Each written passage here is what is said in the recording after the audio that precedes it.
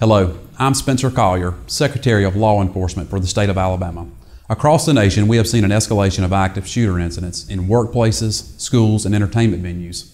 I encourage you to be prepared and remember to run, hide, or fight should this happen to you.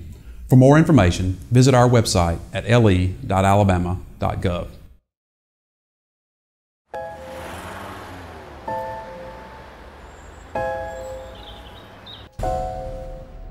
It may feel like just another day at the office.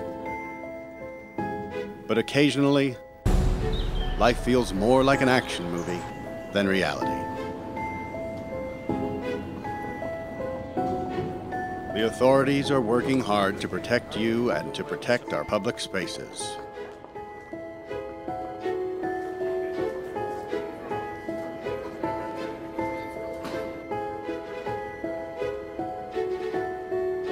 But sometimes bad people do bad things.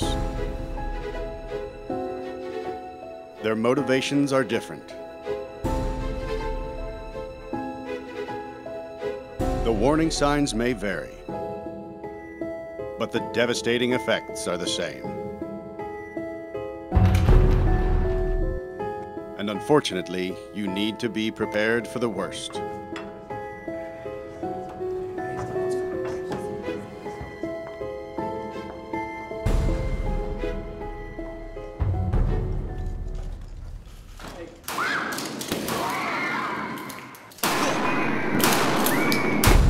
If you were ever to find yourself in the middle of an active shooter event, your survival may depend on whether or not you have a plan. The plan doesn't have to be complicated. There are three things you could do that make a difference run, hide, fight. First and foremost, if you can get out, do. Always try and escape or evacuate even when others insist on staying.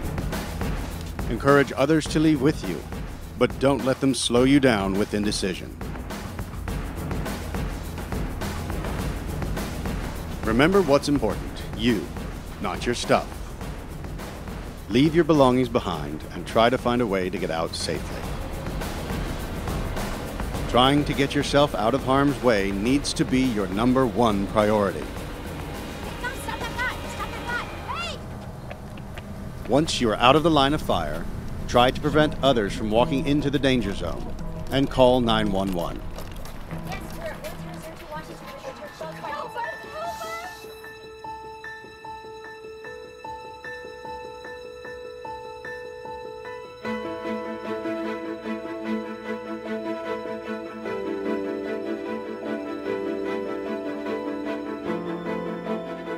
If you can't get out safely, you need to find a place to hide.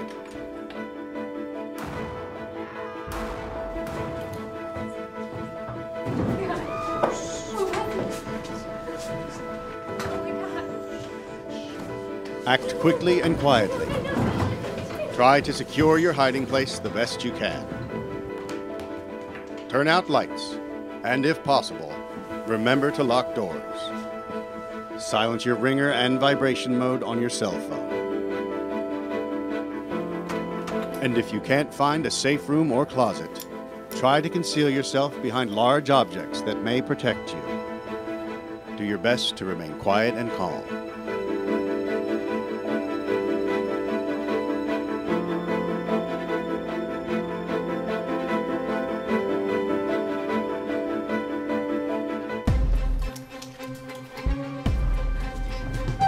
As a last resort, if your life is at risk, whether you are alone or working together as a group, fight. Act with aggression. Improvise weapons. Disarm him. And commit to taking the shooter down, no matter what.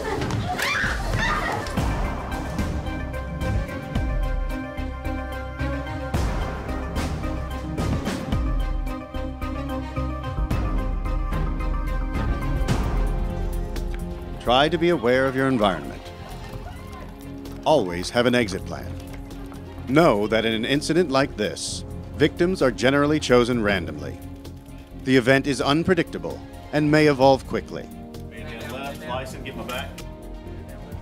The first responders on the scene are not there to evacuate or tend to the injured. They are well trained and are there to stop the shooter.